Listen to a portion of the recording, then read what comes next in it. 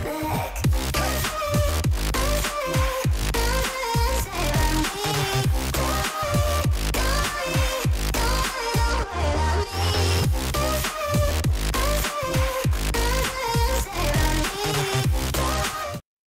everybody and welcome back to another GTA 5 LSPDFR tutorial.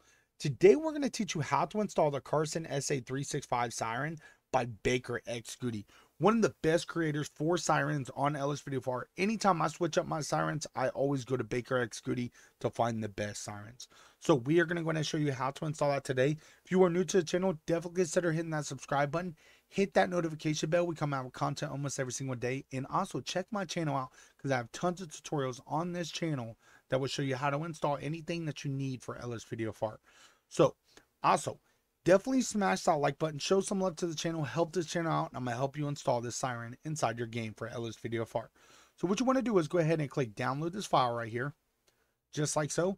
And why that is downloading, what we are going to do is we are going to go ahead and open up OpenIV.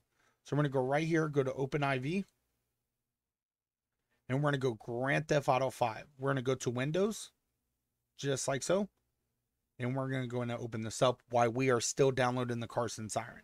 So what you want to do is go up here to the top where it says Edit Mode. Click on that. Click Yes. And make sure you guys have a mods folder. If you don't have a mods folder, you need to watch a video to show you how to install OpenIV and how to create a mods folder for those of you that do have it, what you guys want to do, click inside your mods folder. And if you do not see X64 in there, I'm going to show you how to get it in there. Okay. So you're going to go back up here to the top to GTA V. You're going to go right here where it says X64. You're going to click on that. You're going to go to audio. You're going to go to SFX and you're going to go right down here and you're going to find resident.rpf. So this file right here. What you're going to do is double click on it and it's either going to say copy to mods folder or show in mods folder. If it does not say that, make sure edit mode is on. Okay. You should have a light blue box around edit mode and that will indicate that it is on. Okay. So you should got show in mods folder or copy to mods folder. Okay. If you're just installing this, it should say copy to mods folder. So click that and then go back up here to the top and click GTAV. So what you're going to do is now go inside your mods folder. You're going to go to X64. You're going to click on that. You're going to go to audio.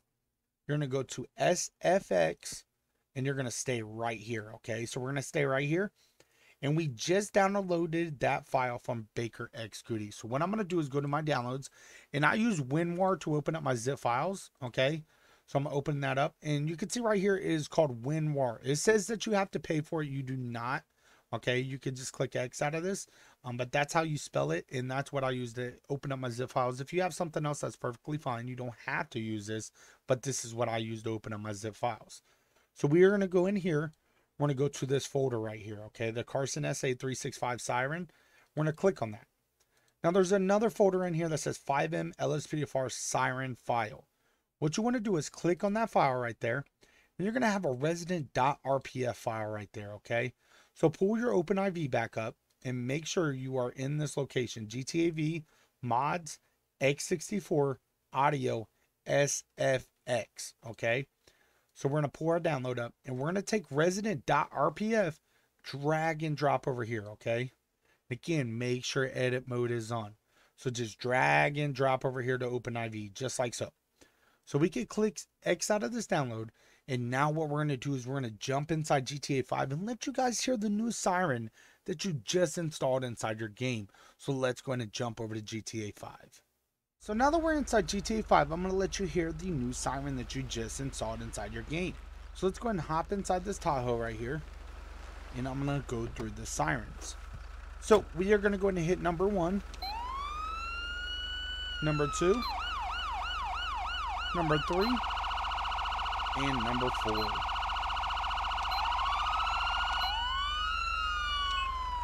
So you guys can hear the sirens there.